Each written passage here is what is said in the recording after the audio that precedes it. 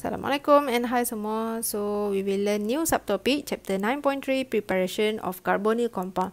Preparation of carbonyl compound means how to produce carbonyl compound. Okay, so there are three ways to produce carbonyl compound. The first one is by using ozonolysis of alkene.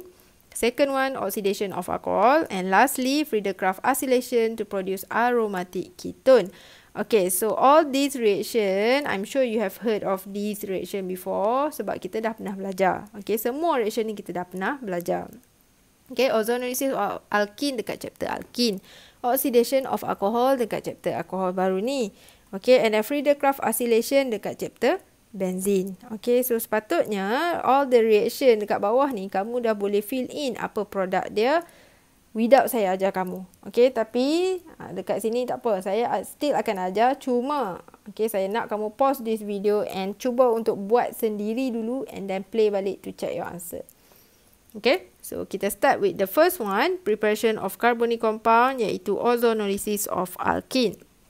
Okay, for ozonolysis, kita akan perlukan ozon okay, dan zinc H2O. Okay, and cara kita tulis mesti ada numbering, number one, number two and our product will be aldehyde or ketone depend on the structure lah. Okay, so ozonolysis of alkene akan involve oxidative cleavage. If you still remember this word.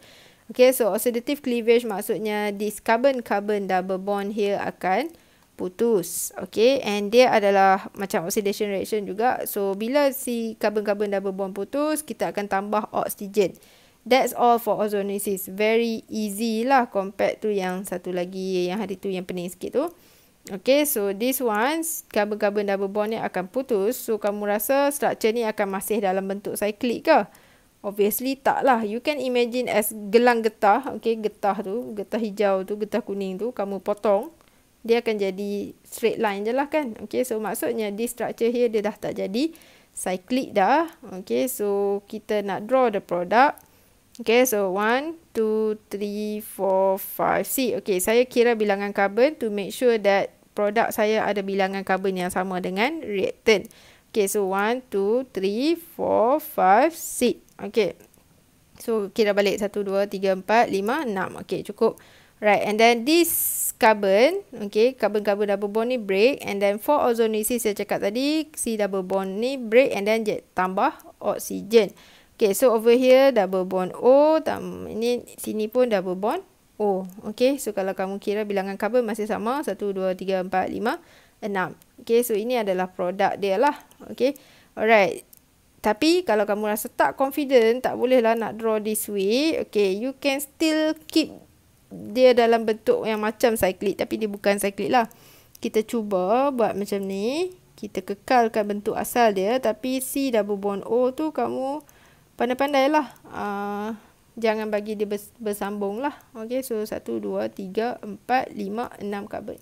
Okay, so this product and this benda yang sama sahaja. Okay, and over here actually ada 1H. Sini pun actually ada 1H but we don't have to show kalau kamu guna skeletal structure macam saya lah. Okay, kalau guna expanded then kena tunjuk.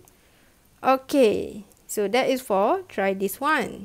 Okay, so next kita tengok try this two pula. Okay, try this two different from try this one because structure dia bukan cyclic. Okay, so bila structure dia bukan cyclic, the product akan terbahagi kepada dua lah sebab this carbon-carbon double bond we break.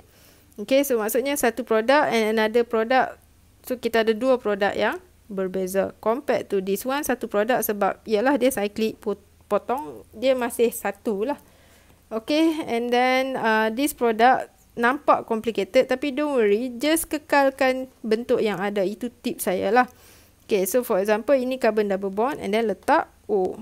Okay, itu yang sebelah ni. Then yang sebelah ni pun kita cuba copy exactly the same macam tu supaya kita tak pening. Okay, so over here dia ada C double bond O. Okay, ha, so boleh juga kalau kamu rasa tak cantik, ha, kamu boleh lukis lagi cantik daripada saya lah. Okay, so kita tengok balik produk kita. Okay, so kalau ikut sini, ini C double bond O, ada carbon lagi kiri kanan. So, ini adalah ketone. Okay, and for this one, C double bond O dia, sini ada H sebenarnya. So, ini adalah aldehyde. Okay. And then kalau yang ini ya, so ini aldehyde, ini aldehyde. Okay. Alright, so kiranya kita berjaya lah menghasilkan aldehyde atau ketone daripada proses ozonolisis. Okay, so the next reaction that can produce aldehyde and ketone adalah oxidation of alcohol.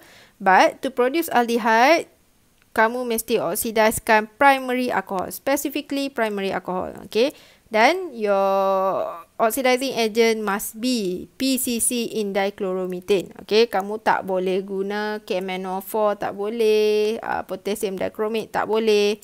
Okay, sebab beza dia dengan PCC adalah, hari tu kan kita dah belajar, PCC is considered as mild oxidizing agent. Okay, so bila dia mild oxidizing agent, dia akan oxidize primary alcohol ni pergi ke aldehyde sahajalah. Okay, tapi kalau kamu guna strong oxidizing agent, this primary alcohol akan terus jadi carboxylic acid. Kita tak nak lah, kita bukan nak carboxylic acid, kita nak menghasilkan carbonyl which is aldehyde. So, mesti guna PCC in dichloromethane. Okay, alright.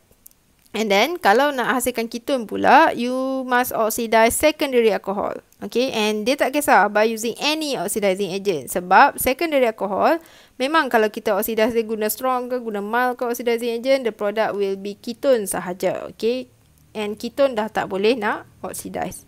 Alright, so kita tengok, try this one. Okay, so try this one. Kita ada this alcohol here, ada PCC in dichloromethane.